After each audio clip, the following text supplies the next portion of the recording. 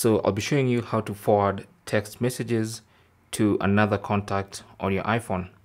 Now for this video, I'm using the iPhone 14 Pro, but it's the same instructions for other iPhones as well.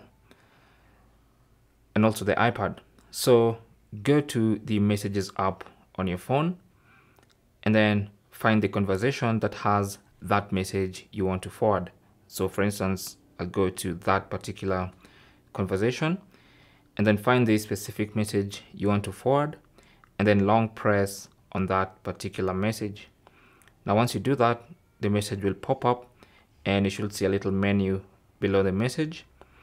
Tap on more to see more options. And then once you do that, you have the option to forward. So tap on the forward icon in the bottom right corner and that gives you the message creator page with the message already set because we're just forwarding a message. So tap on the plus icon right here. That opens your phone book. Look for the person you want to forward the message to.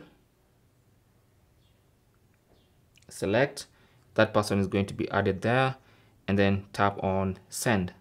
This upward facing arrow is a send button. So if you tap on it, that message is now sent and then you can now tap on cancel to exit out of that previous message. And now you can see we've sent a message to this contact the same message we were forwarding.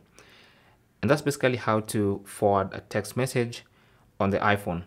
Now sometimes this might not work uh, for one main reason. You might be forwarding to someone who does not have an iPhone maybe someone holding an Android phone. If it's an iMessage then this might not work unless you have enabled text messages in case iMessage is not available. So to make sure of that, go to settings and then under settings, go to messages, tap on it and then scroll down until you get to send an SMS and make sure that is enabled.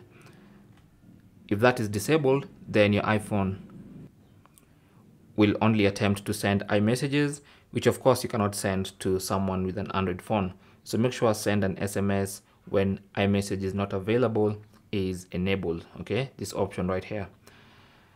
Thanks for watching. Leave your comments and questions down below and good luck.